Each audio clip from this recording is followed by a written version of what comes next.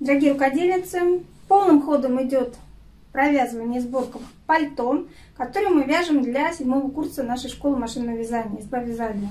Уже все детали готовы, видите, верхняя часть кокетка уже готова, нижнее полотно готово, видите, двойное полотно. Это новое слово в вязании пальто.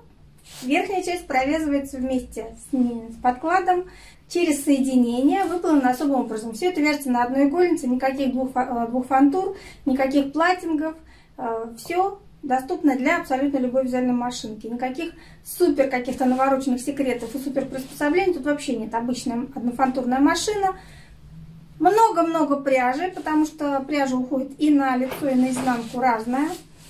Абсолютно разный расчет, но э, мы с этим справились. Пальто вот оно стыкуется. В настоящий момент я Э, закончила вязание рукавов и сейчас буду соединять кокетку и рукава. Надеюсь, что в ближайшее время мы уже вам предоставим вам полный вид нашего пальто. Видите, хитрое вязание кокетки позволило нам выровнять длину по горизонтали.